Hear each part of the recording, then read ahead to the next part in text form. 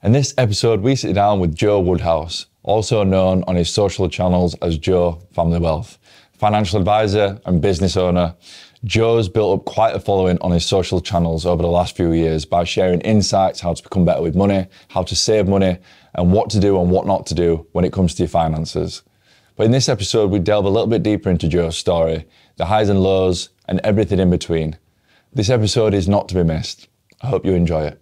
Joe, There we go. Thanks for coming on, mate. Pleasure as always, mate. Where did your love and passion for finance, in terms of you becoming a financial advisor on Instagram, you know, this Joe Family Wealth, where did where did that love and passion for not only finance but helping people with their finances come from? I initially fell into it because my brother playing Sunday League football.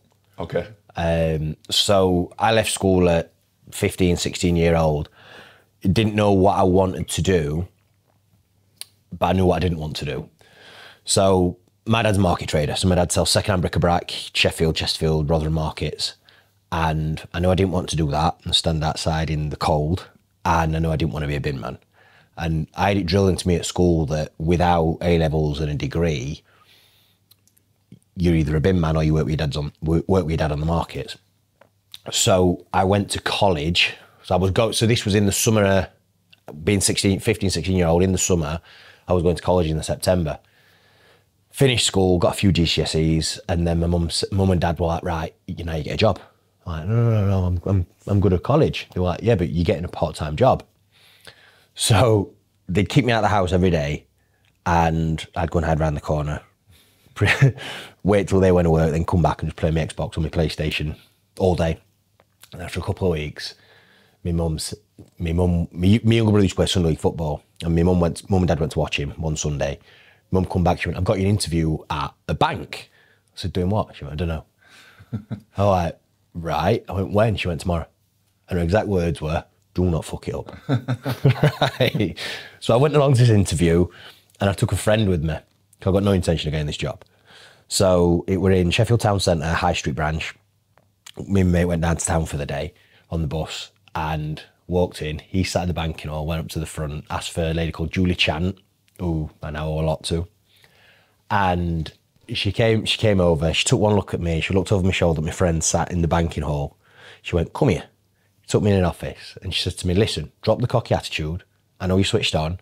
I've promised your mother a job and I'm giving you a job. And if you lie to her, she'll know because I'm going to ring her now and I'm going to tell her that you've got this job. Now get out of my office. so, so like 15, 16 year old walking through back through the bank, and my mate went, "How did it go?" And I was like, "I've got, I've got a job in a bank." And he went, "Doing what?" I'm like, "I still don't know." so the job was a cashier. So I started as a cashier on Saturdays and a couple of days in the week, and the cashier inside I hated and I was horrendous at. I think I got every record for every till error going every single day. But I just fell in love with the relationship building, with the conversations, with the talking to people, with the sales side of things. And it just became it became a game. Just like I've always been very I'm a numbers man. And for me it was just I worked out pretty quickly. So every this was it's different now, but this was back in the day when you go into the bank and you'd queue up at the till and the cashiers would be trying to get you for an account manager. Let's upgrade your account. Let's get you a credit card. Do, do, you, do you want a loan to pay that credit card off? We can get you better savings on your on your uh, better interest rate on your savings. As a cashier, every referral I made to one of the account managers that resulted in a sale, I'd get paid three pound.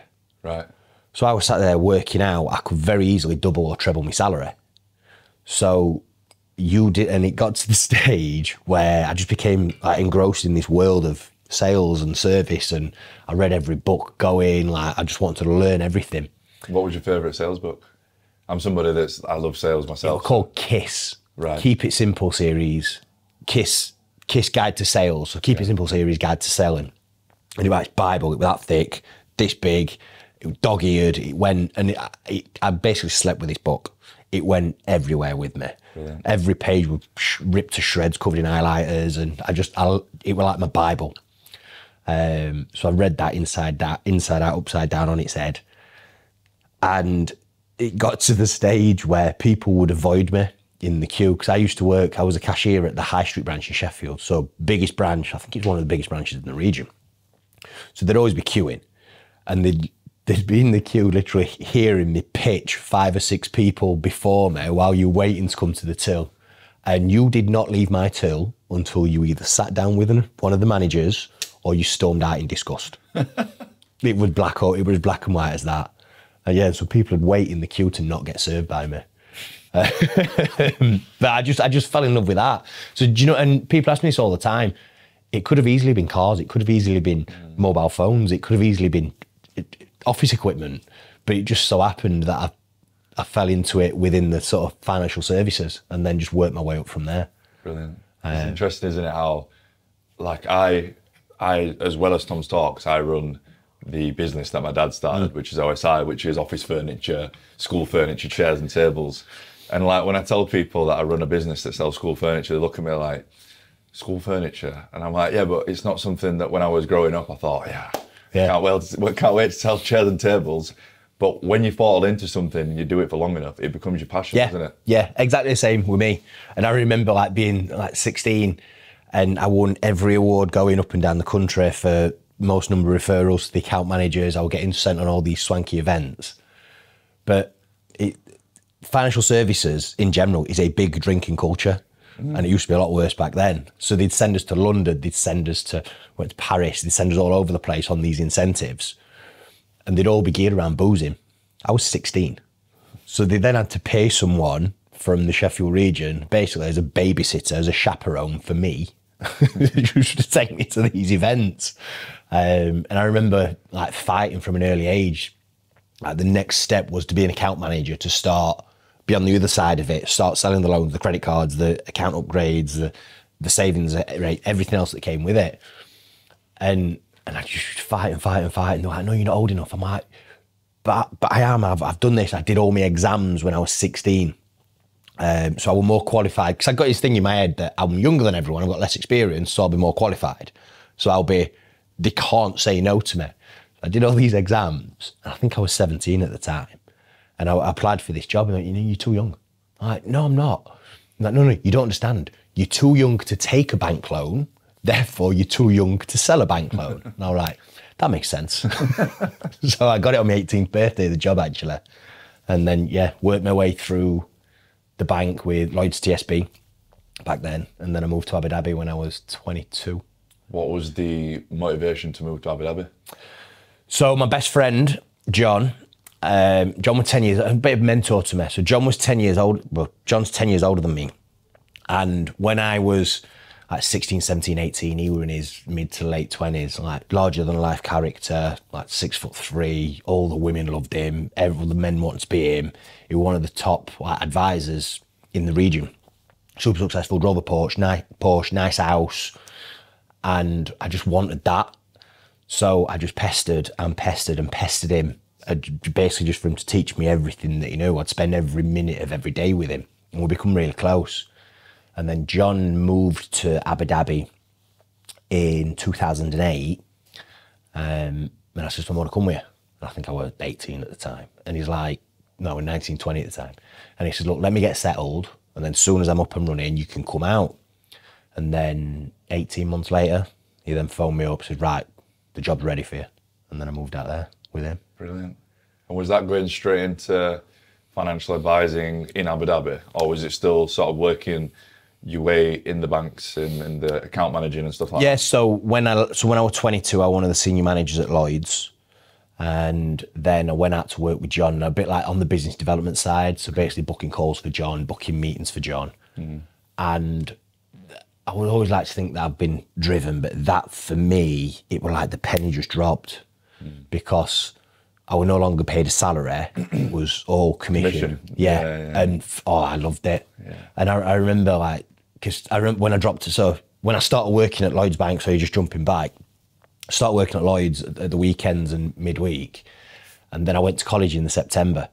Didn't know what I wanted to do at college, but I just knew I didn't want to be a bin man or a market trader like my dad. So I started at college, and then I was there for six weeks. The first October half term came up, and I worked all week and then worked out at the end of the week what we're going to get paid. And I remember speaking to one of my other mentors at the time, a guy called Ian Twarwick, who was one of the other top sales guys in the country. And I said to Ian, I said, Can I ask you a question? He's like, Yeah. I said, What qualifications did you have at my age? And he, I'll never forget it like yesterday. Got his toothpick. He used to, have, to this toothpick in his mouth. He leant back, pulled it out. Went, Son, when I was your age, I couldn't spell my fucking name. and he got this thick Barnsley accent. But everybody loved him. And and he said to me, What are you doing? I said, I'm at college. He said, What do you want to do? I went, I don't know. I said, I want to do this. And he and he got and he leant over and he got his piece of paper out of his drawer, threw it at me. And I opened it up and it got more zeros on it than I'd ever seen. And it was pay slip. Really? Yeah. And he, and he asked me again, What do you want to do? I went, I want to do this. and he said, Right, I'll tell you what, probably not the most responsible advice, but he said, Go into college tomorrow hmm. and tell them to shove it. and that's what I did. And it took me dad three months to speak to me after that. Really? Oh, he were all broke. Because I was going to be the first Woodhouse to go to university. Like I was going to be the one. My dad wanted me to be a barrister. and then when I when I sort of jacked college in, I threw my life away. Hmm. And then it took me dad a few years then to recognise that I were sort of doing something for myself within the bank. Then I got to 22, senior manager on a lot, very good money for a 22 year old. Then I went to him and said, it all in, Dad. He's like, Why? To not get paid a salary. Commission only. And that was the same. Took him three months to speak to me again. It's so strange that you say that as you've just said it because it's so similar to my situation with my dad. My so I'm I was the youngest of four. Uh, my older brother Alex, he didn't go to uni. Uh, he, he went, started working for my dad at 18. He started working in the warehouse. Uh, my brother Liam wasn't the most academic. Didn't really know what he wanted to do. In and out of different jobs. Obviously, sadly, not with us anymore. Uh, and then my sister Gemma, very bright individual. She went to university. She's five years older than me. She went for three months, hated it, and quit. So then it came to me, the youngest, uh, and I didn't want to go to university. I was very like, I just want to earn money. I want to start a business. I want to, you know, very similar to yourself. Yeah. And I said to my dad, I said, I don't want to go to university. I just want to start earning money. Like, I want to work with you. I'll, look what you've done. And my dad's like, no, you're going to university. I'm like, right, okay. So I did sports business, a pile of shit. I went for three months and I quit. And my dad was so upset with me. and it, unpopular opinion this, but and I've had this conversation with people in the past. I don't dispute for one minute that my dad wanted the very best for me. However, how much of me going to uni and me becoming a barrister, like my dad wanted, how much of that was actually for me, Oh, for or how much was for his own ego so he can tell his mates? Yeah, yeah. because that was what upset him more than anything. Mm. And he even said it to me. He's like, "But I've told everyone you're going to university."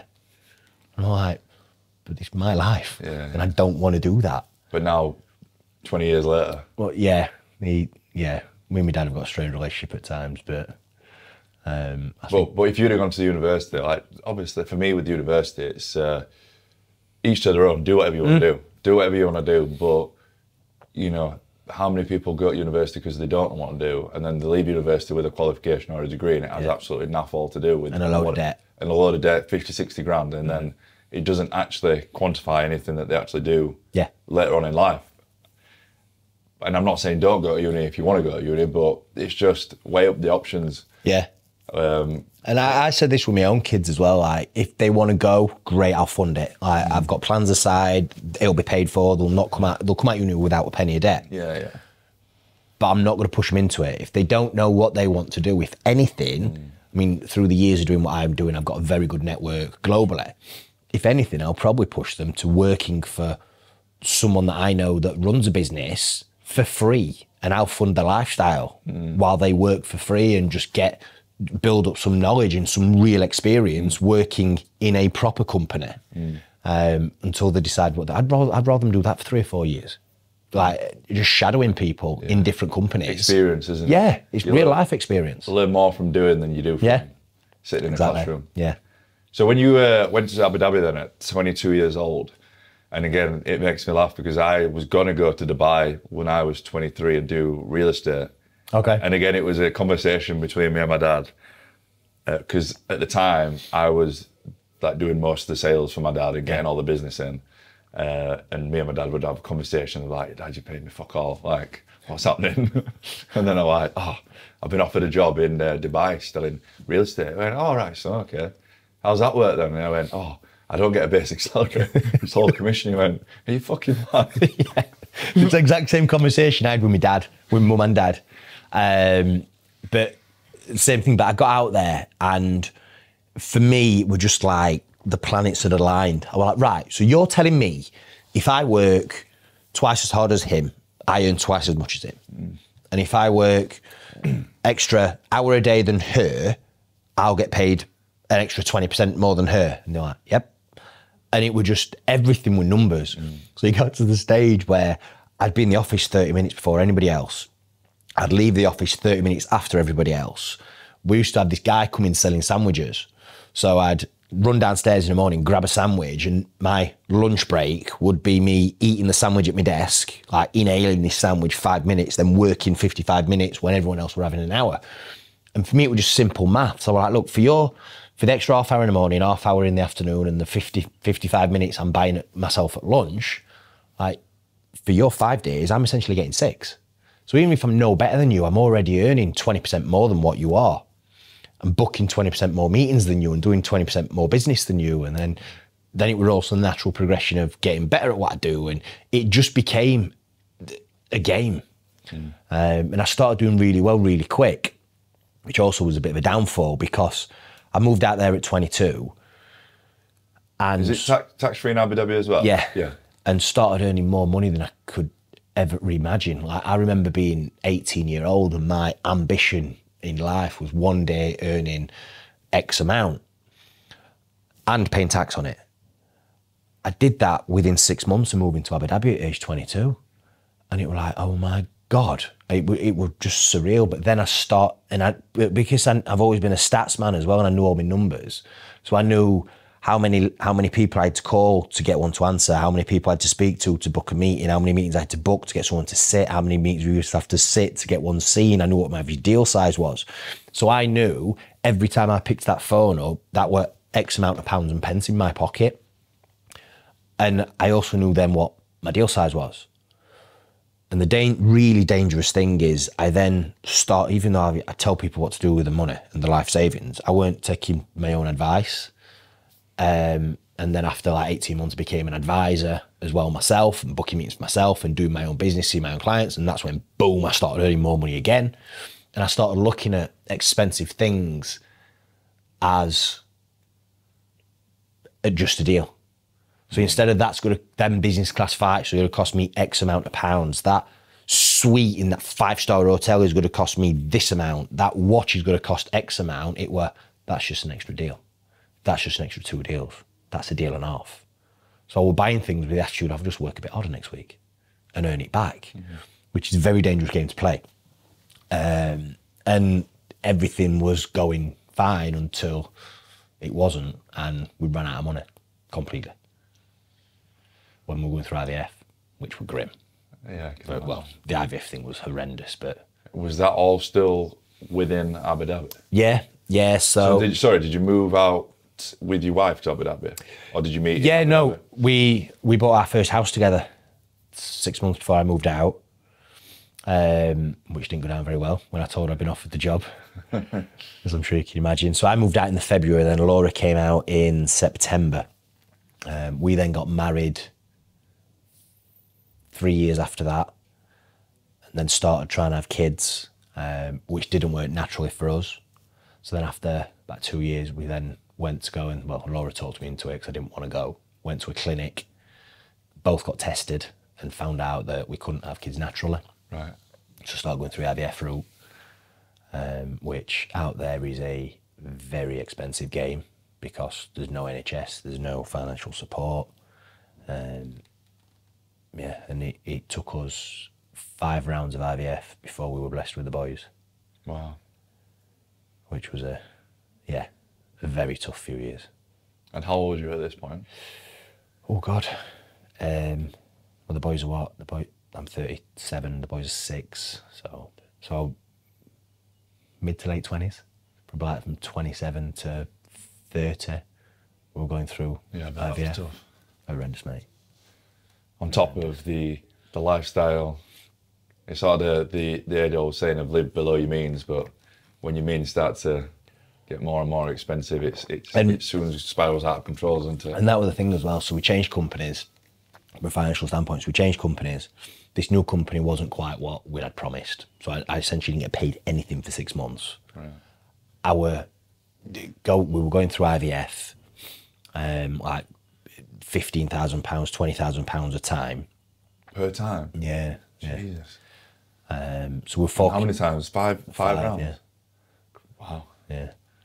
Um, so we're forking all that out, uh, but and then it was at the time it was this victim mentality of why me, why is like the, and it was just after, um, remember it was the Brexit vote as well.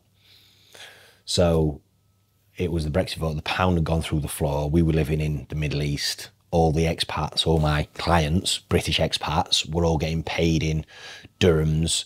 So all of a sudden, that affected their job security, and there were people worried about leaving. No one was investing. So it was like, why is the market shit? Why is nobody buying? Why is this new company shit? Why can't we have kids?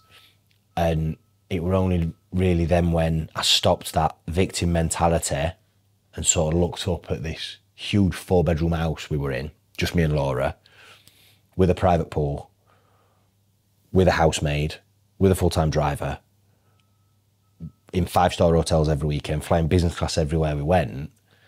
And I did this little exercise where I worked out how much money I'd earned since I moved to Abu Dhabi when I was 22 and how much I got left. And that for me was such a wake up call. Just a quick one before we get back to the episode. We're trying to hit 5,000 subscribers before the end of the year. So if you love this podcast and you love what we're doing, then a quick and easy way to support it would be to hit the subscribe button. Thanks very much. Now let's get back to the episode. What was the reason why you didn't move back to the UK to do the IVF?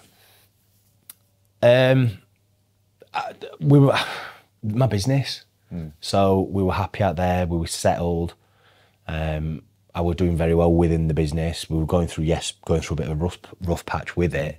I suppose though, if you But that would that were life for us. Yeah. You know what I mean? Like to save a bit of money coming back here to do it, uproot our life, and um, it, it was difficult as well because like when we had a, a great circle of friends, so we all moved out together like early mid late twenties, and all couples. We'd all go out boozing together.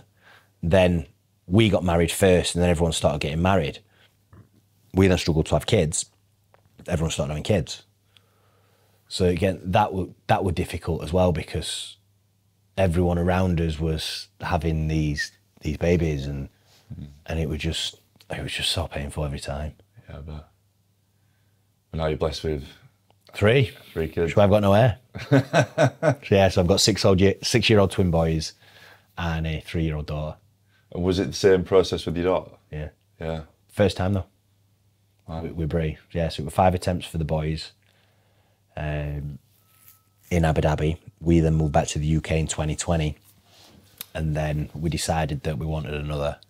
So we literally got all the notes from everything that worked at the last clinic we went to, gave them to a clinic in Sheffield, and went copy that, and it worked.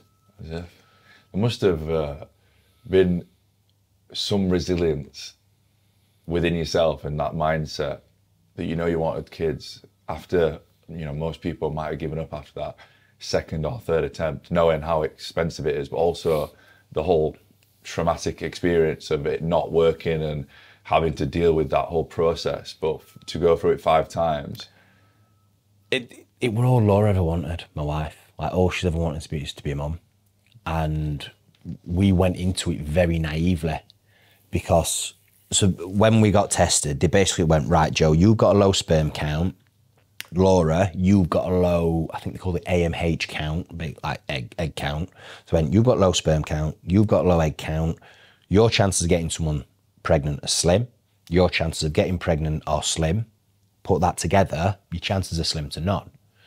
But he got sold to us that it's an easy fix. We basically, I'm sure there's more to it than this, but we get one of them sperm, we get one of them eggs, we mix them together in a dish, baby. yeah, That was like how naively we went into it all. And so we paid the 14, 15,000 pounds, whatever it was for the first round at this clinic in Abu Dhabi.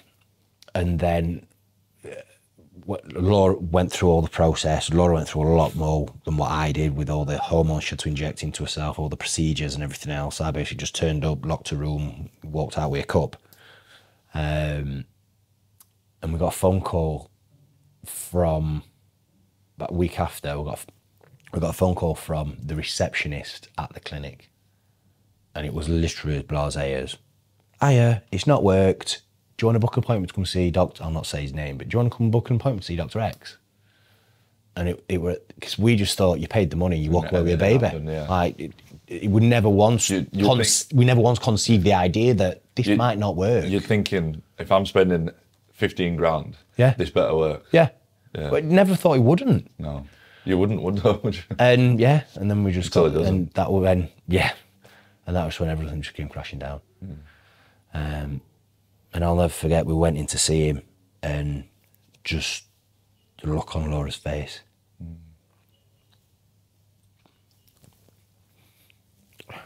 Sorry, it broke broke every single time, every time. Um, That was tough.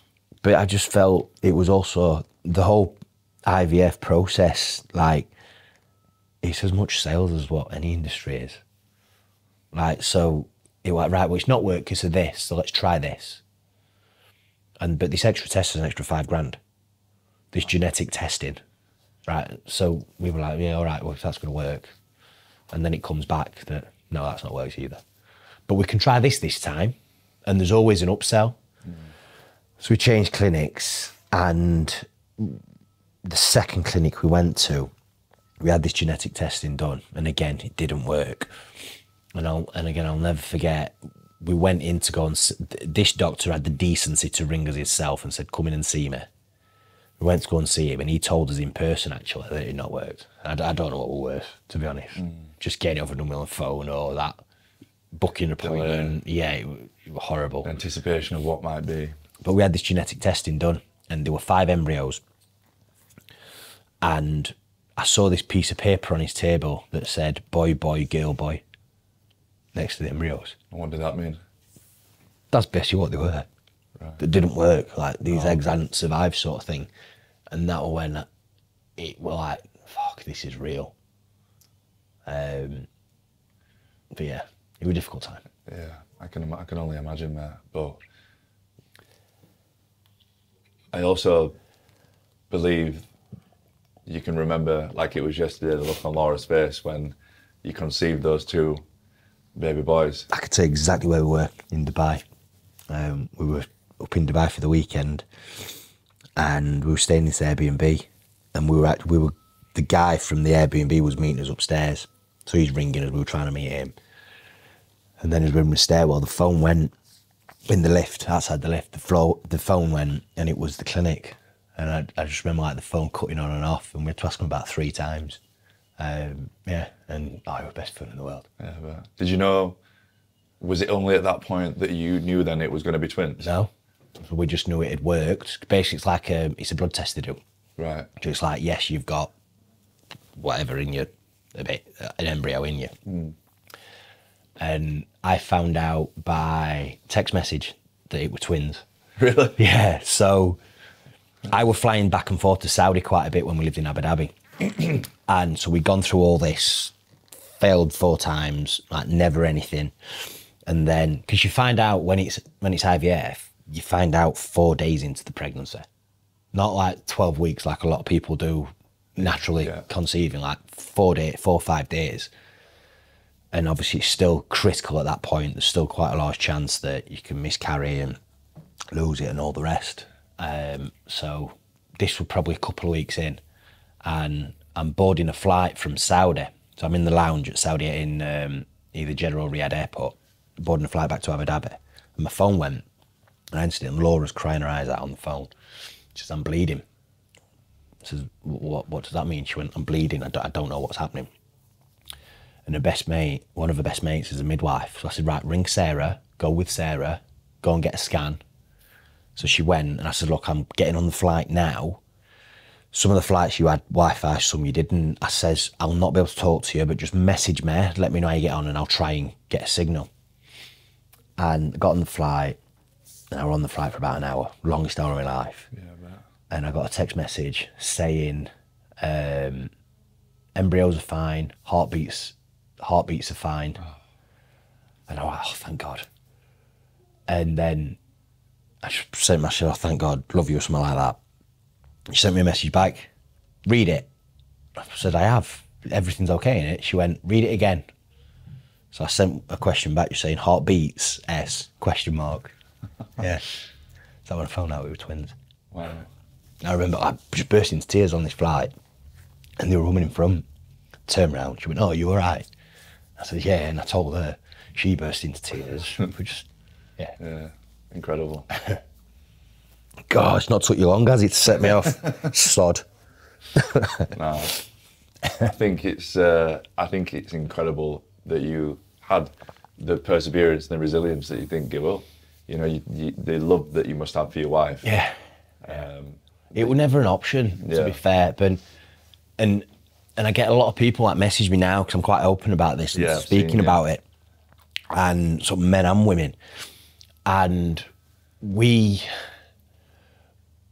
we, which in a way I'm glad we didn't, but we should have done at the time. Like we never had that conversation of, which I always tell anyone to have. Like, mm. as horrible as it sounds, you need to be aware that this may not work for you. Mm. Because unfortunately, it don't for a lot of couples. We were very blessed, and you need to also have the conversation of how many times you're going to do it, or how much you've got set aside, or you're going to invest in it, because you could be going forever. Um, so we never had that conversation, and like if we completely ran out of money, and we were going to take a break of twelve months before we went again. And it was actually my best mate John, and I don't- hardly anybody knows this, but it was my best mate John that gave me the money for the fifth round, wow.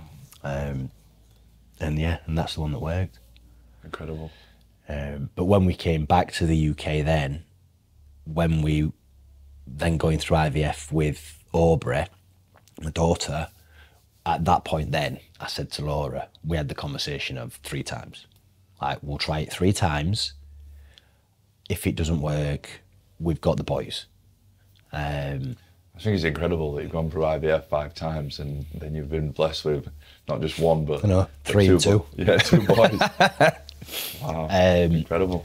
So yeah, so but and again, I don't know if there's any science behind this, but when we were going through it with Aubrey back in Sheffield, with the boys, it were life or death.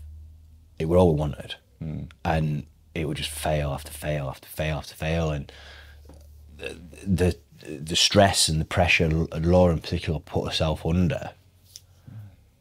I, I, that must have had a massive part to play. As with Aubrey, we were a lot more chilled out with it. Were you back in the UK? Yeah, with with Bree we were, yeah. Yeah. Um, the boys were, the, were- the boys were, um, the IVF for the boys was at Bourn Hall Clinic in Dubai. Okay. The boys were born in Abu Dhabi, and then with Aubrey it was in uh, Care, Sheffield.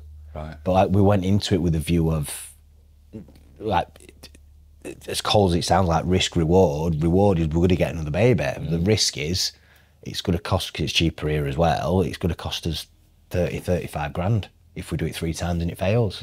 But we'd sort of drawn a line in the sand, which we really should have done with the boys as well. But you don't know what you don't know, do you? I know. But if we had done, if we'd have drawn a line at mm. four, like, Yeah, yeah, yeah, it's yeah. not worth thinking about. And that's the thing, and I'm a big believer that is shit as life is sometimes. You find the magic in every moment. Agree, agree. And I, again, this is something that a, a good friend of mine and mentors taught me that, that within every bad situation, you need to find the gift in every negative situation. Yeah. And if I sort of look back throughout my life, like my biggest wins have come at my lowest moments. Like with with running out of IVF, running out of money going through IVF, that was when I got my financial house in order.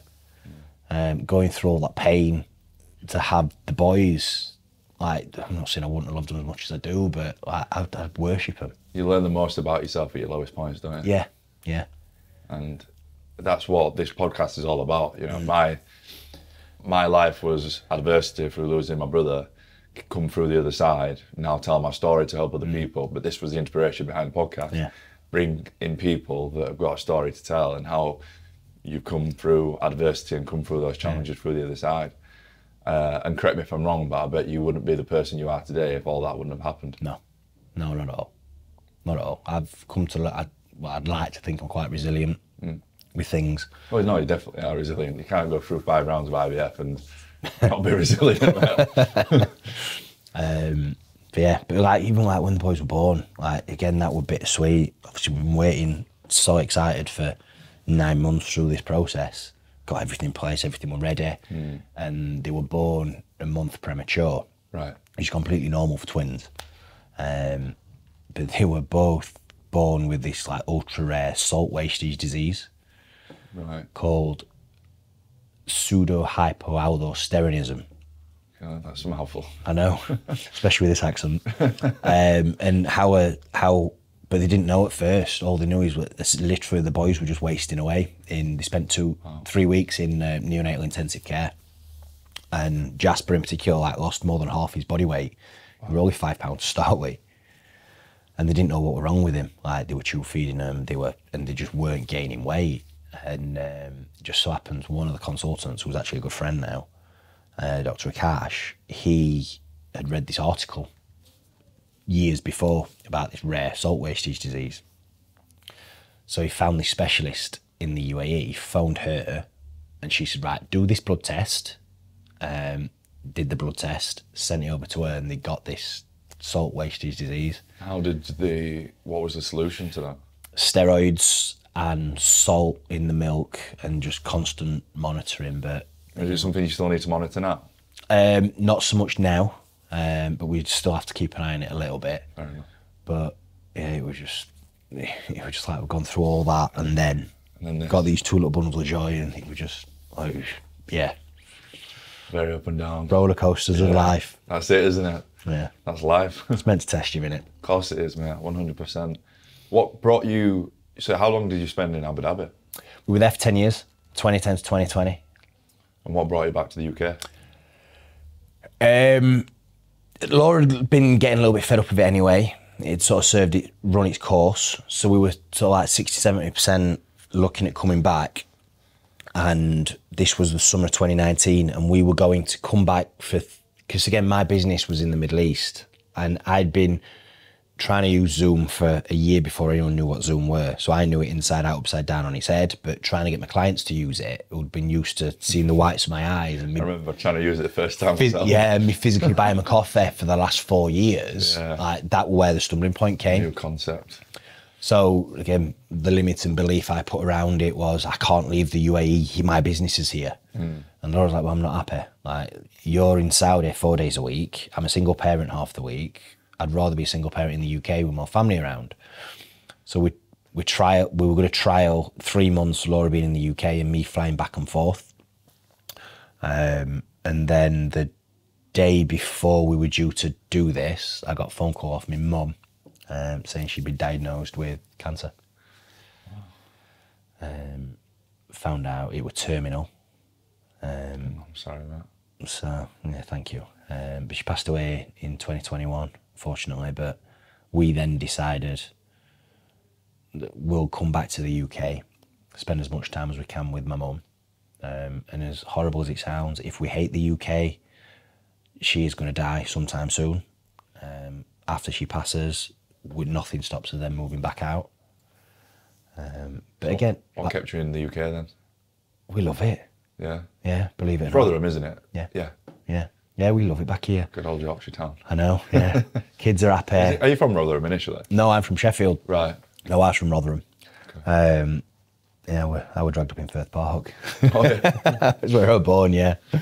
Um, but yeah, we just we're in a lovely little village, outskirts of Rotherham. Like we're happy. It's great. Kids love it. Brilliant. Um, and I'm back and forth to Dubai quite a bit as well. Yeah, I've seen, and and- and is that I know you you'd appeared on quite a few podcasts out in Dubai. Yeah.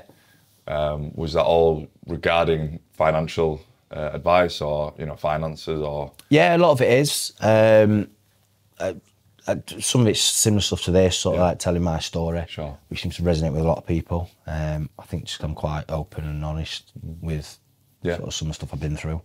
Um, yeah, like when I'm out in Dubai, like I do, I've read like radio, newspaper stuff that I do, and media, um, golf as well. 'cause the sun's always shining out there, so that helps. I remember you just said about Zoom. I remember because I started. What I really loved about your Instagram page when we first followed each other was how open and honest you were about all these different tips and whatnot you could give to people for to help them with the finances. Um, I remember it was actually 2020 when I started doing some investing, and I remember I my best friend Lloyd was doing day trading on oil, and he made like five grand in a day, and I was like, "Fucking get me on that! I'm going to do that." Made 500 quid in about 10 minutes. I was like, "This is amazing," and then lost 50, 50 uh, 1500 quid about 10 minutes later, and I was like, "Oh god, this is terrible." And my dad's my dad uh, stepdad is was a financial advisor. He's retired now, and I was telling him, he was like, "What the hell are you doing?" And I was like, "What do you mean?" Like, "It's the most riskiest game you can Yeah. play." So if you're going to invest, do it for the long term and buy some oil now while it's down. Have a look at some other stocks that are down from their all-time high and just hold long term. I was like, okay. So I bought some oil, and I remember, and this is what I'm getting to. I looked at Zoom, and the stock price of Zoom just went through the roof Yeah. because everybody was using it. But I remember the first time I'd ever tried to use it, I was I, I just couldn't figure it At out. one bit, Zoom was worth more than every US airline combined. Wow. It's insane. Yeah. But then he, dropped did, back did, down again, down, yeah. It's not recovered since. when doors started opening and Yeah, people yeah. start going out in the real world again. Which is surprising though, because like you said, that so many businesses now are just run via either Teams, Google, or, or Zoom. Yeah. Um, but obviously that's the stock market, and you can't predict it. Yeah. So, what is what is the best if you could in thirty seconds to help somebody that is maybe struggling financially, um, or just generally wants to start putting some money aside, looking for the future. What if you could give some form of financial advice within thirty seconds to a minute? What what would it be? Get your ducks in a row. So it's doing the right things in the right order. So first of all is doing a budget. Okay. So making sure you're spending less than what you earn, which sounds super simple, but so many people get that wrong. So it's knowing what's coming in and what's going out. It's then paying yourself first. So day after payday, you have set amount, go to your savings and your investments, and then you spend whatever's left. And that way you'll always have much more at the end of the month. Um, and then it's all looking at before you look at investing and before you talk about which fund or which stock or which company to buy, you need to build up six months emergency pot. And then when you are investing, look at investing in things what pay you an income and for the long term. And for me, typically it's three ways: it's property, stock market, and bonds. What is a bond? Bonds are still a loan.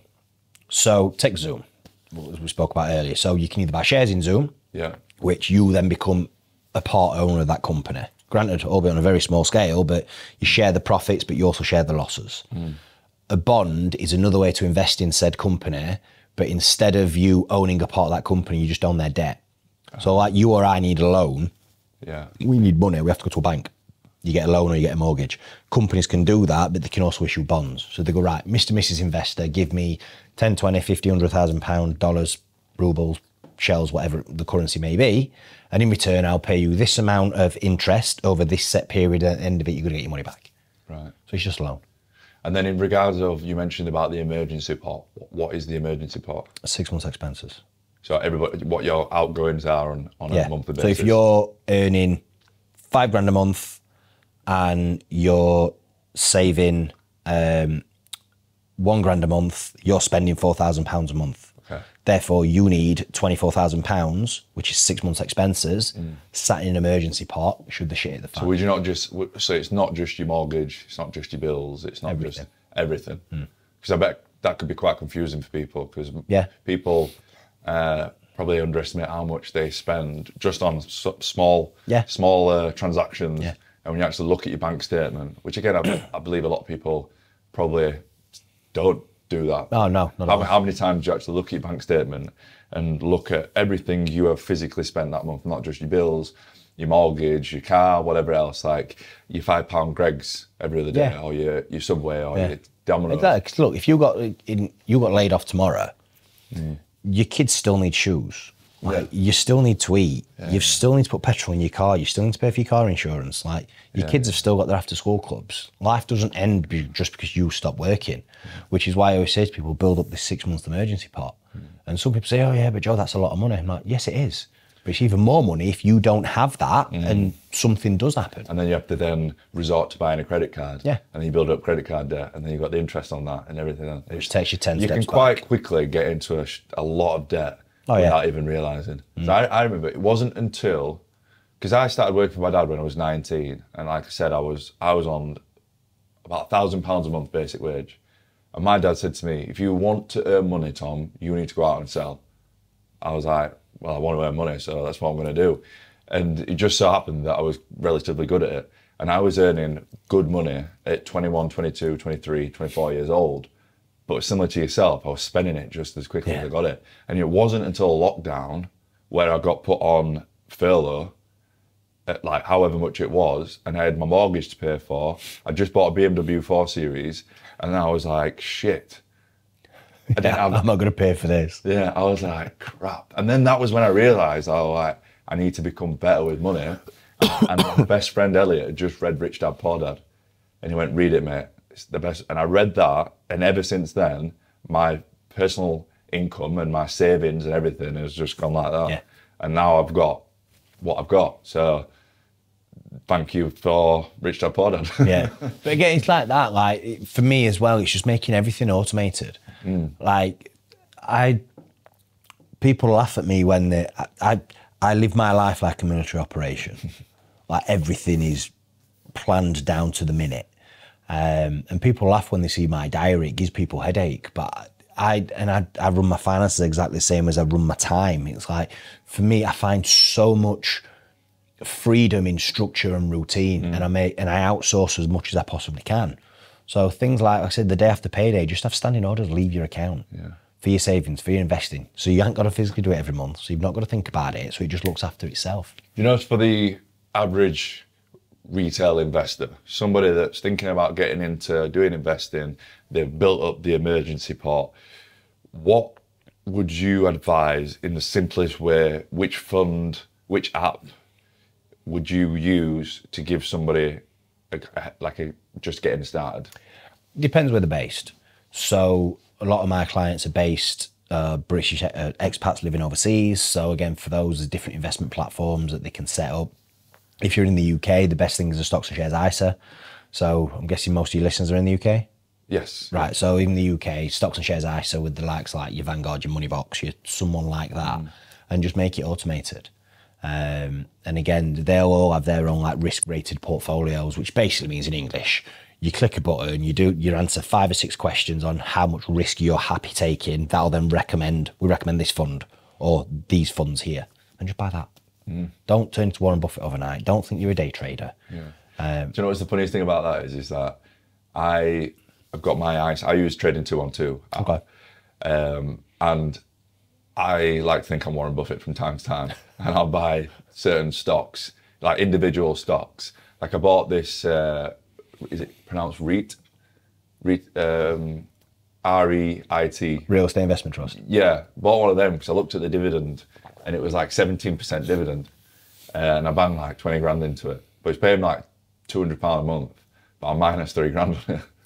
but then the one that's performing the best is I've been putting into Vanguard S&P 500 Yeah. for the last four years, and out of everybody, that's outperformed the lot. And it's like, don't.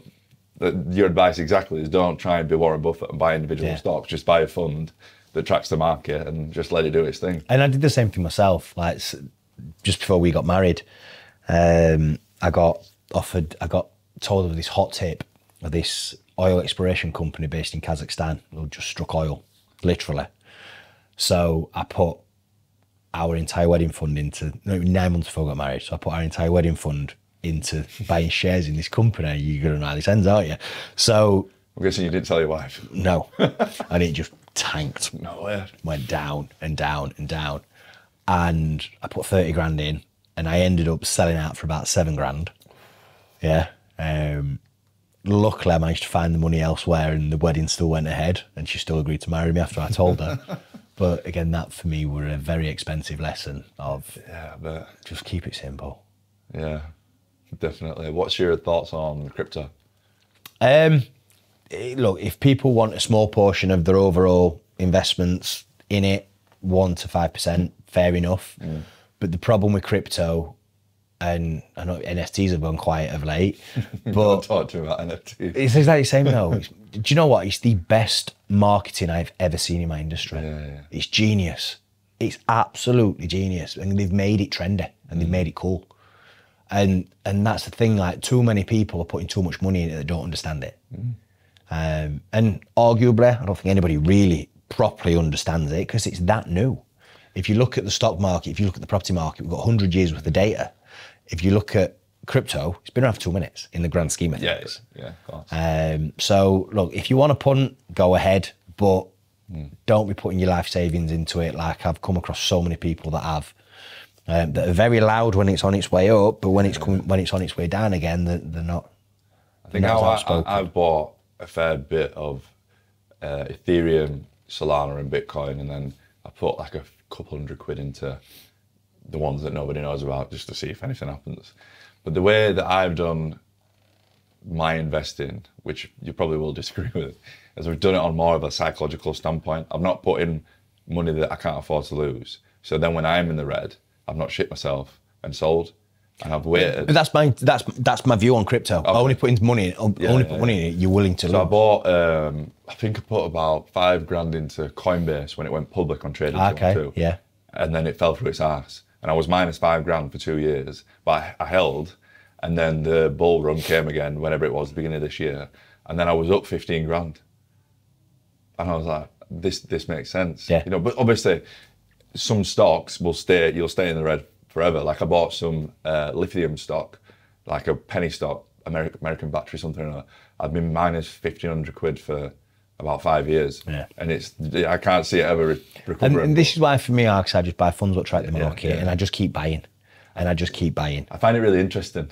I love like the concept behind the stock market, and for me, it's been a great way of when I put when I buy a stock and I put X amount in, I know that then I can't do anything with that money because it's like a habit. You know, Yeah. You don't want to, you don't want to sell it, and and it's the difficulty of selling it is then keeping you from withdrawing that money. So then it builds up over time. And that's part of my issue with crypto as well. So like if you look around, you're living in the stock market. Yeah. That telly, them trainers, them jeans, that watch you've got on, like the microphones we're using, everything is made by companies that operate on the stock market. Like all it is in its most basic form, it's just a marketplace. It's just real companies selling real things to real people.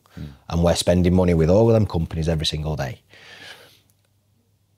Cryptocurrency, on the other hand, I can't.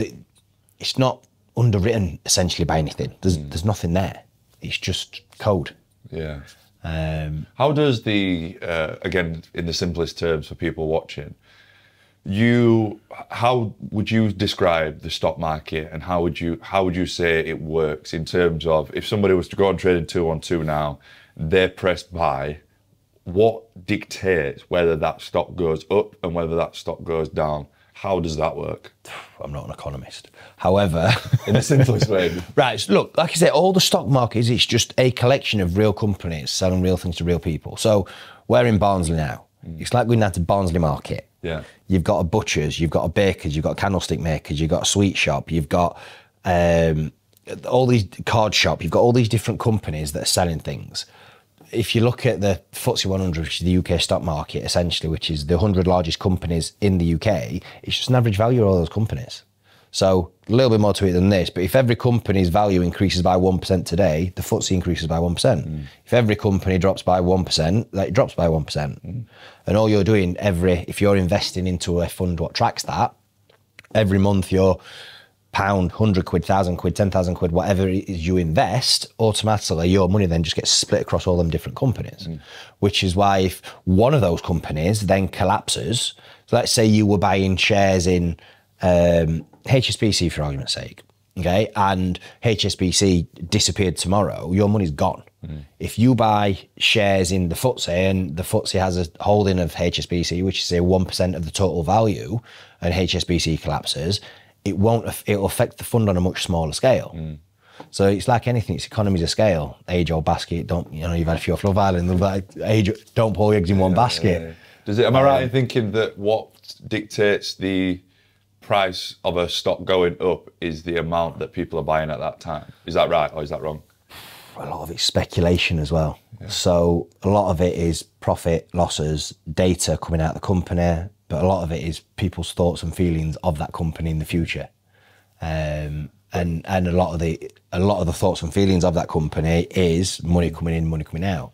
And and I've heard this is why I say to people like with the news, just ignore the news. Because too many people make a 30 year investment decision based on the last 30 seconds worth of news. Hmm. Like if you're investing for the long term, what is happening today is none of your business. Hmm.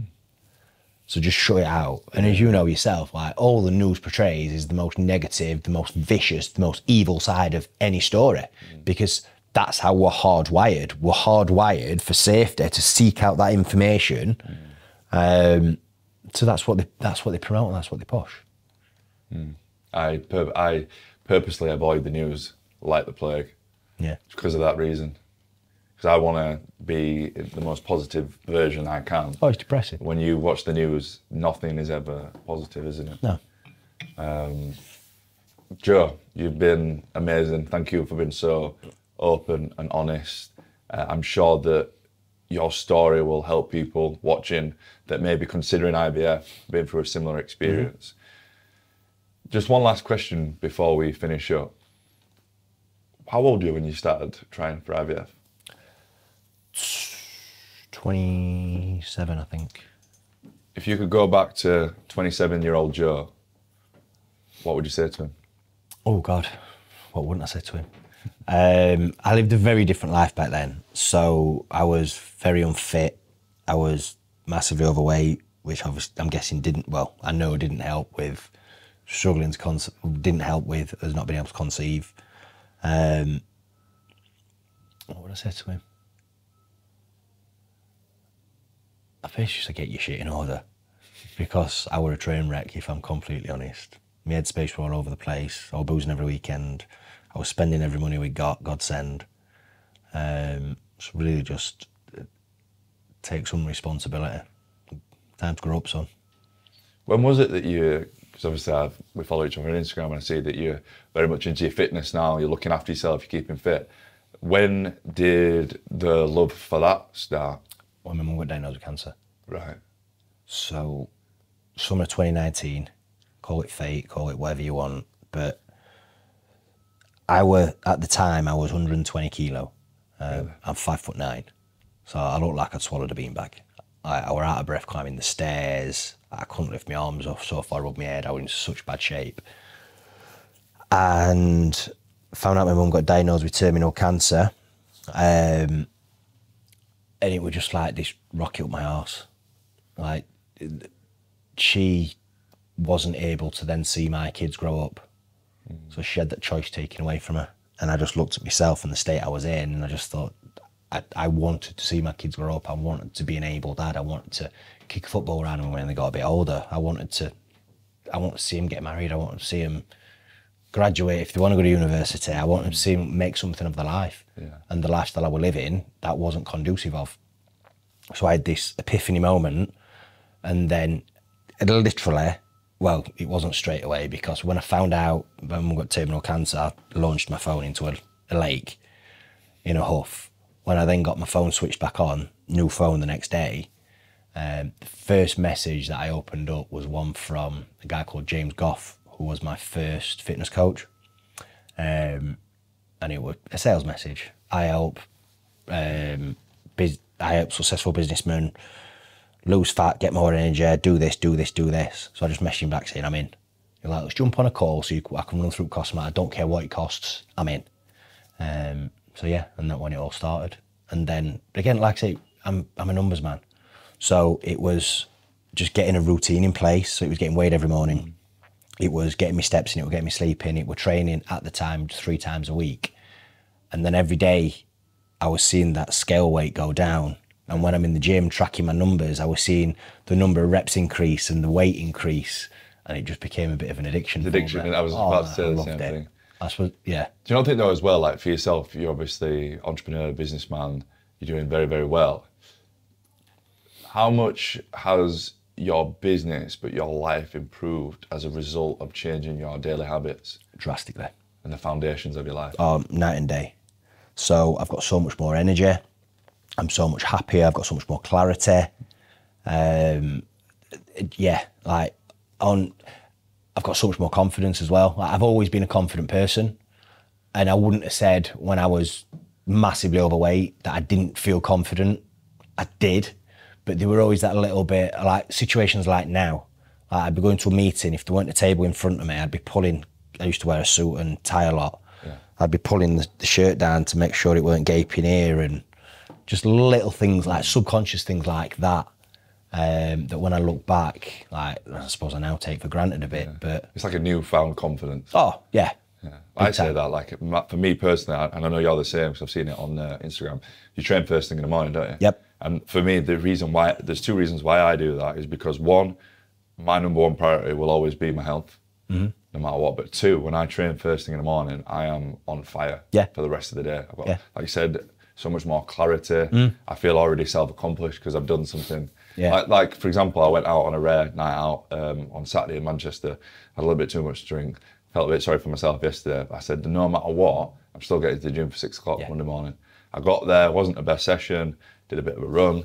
Had my ice bath, and how much better did you feel straight after it? amazing. Yeah, And it's I say to everybody, all the people that I work with, always focus on your health first, and everything positive will come as a byproduct. Yeah, and and again, like for me with kids and that, like now it's it's about setting that example. 'cause, like both myself and my wife, we both take train nutrition really I've seen your wife's just done a photo shoot. Yeah, oh, man, she looks yeah, amazing. she looks incredible. Amazing.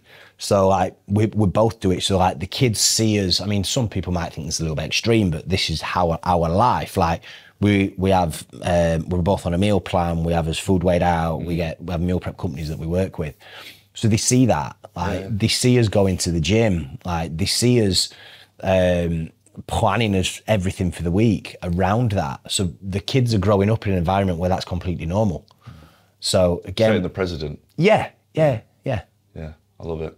Joe, thanks again, mate. Likewise, mate. Thank you. Cheers, buddy. Pleasure. Cheers.